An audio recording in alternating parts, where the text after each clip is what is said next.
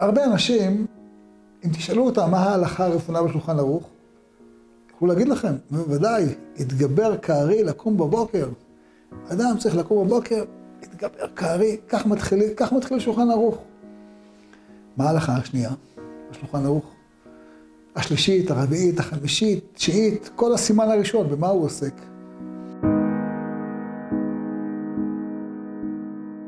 הוא עוסק בזה שאדם צריך להיות כל חייו, כל ימיו, מהבוקר עד הערב, עסוק בציפייה, בתפילה לבית מקדש.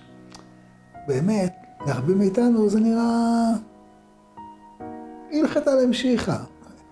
זה לא אמור למלא את יומי. מה שימלא את יומי זה איך אני קם בבוקר, איך אני, איך אני מתפלל, איך אני עושה חסד עם חבריי, ודאי דברים חשובים. בית מקדש זה שייך לפעם, או שייך לעתיד, לא להווה שלי. אבל שולחן ערוך אומר לך, לא חביבי, זה שייך להווה שלך, זה צריך למלא את כל הווייתך, כל תפילה אתה אמור להיות שם, כל היום, כל הלילה אתה אמור לדבק את ליבך ואת מחשבתך שם. למה? למה התורה כל כך מעריכה בפרטים של המשכן, שבאמת לא רלוונטי לרובנו? לא, לא, אנחנו, אנחנו לא בנינו משכן וגם לא, לא נבנה אותו. בעתיד יבוא משה, יבואו כמה בנאים, יבנו את בית המקדש. למה רלוונטי לי לדעת מה האורך, מה הרוחב, מה זה? אני לא...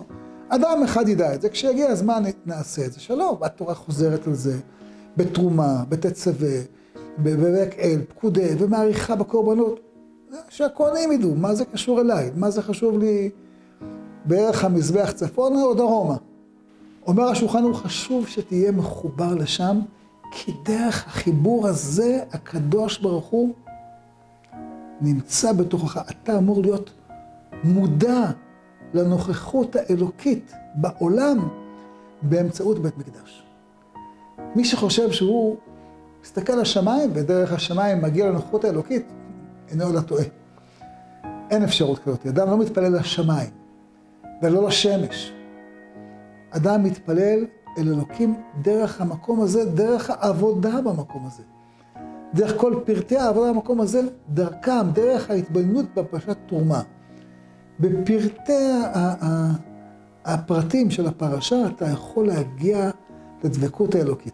המעניין, שמי שקלט את הדבר הזה, היה גוי, גוי אחד בשם ניוטון, מפורסם, פיזיקאי, אולי גדול הפיזיקאים בעולם, שממש מצא הרבה מסודות הבריאה וגילה אותם, וכל המדע העולמי אה, נבנה על הגילויים שלו גם באופטיקה וגם בפיזיקה.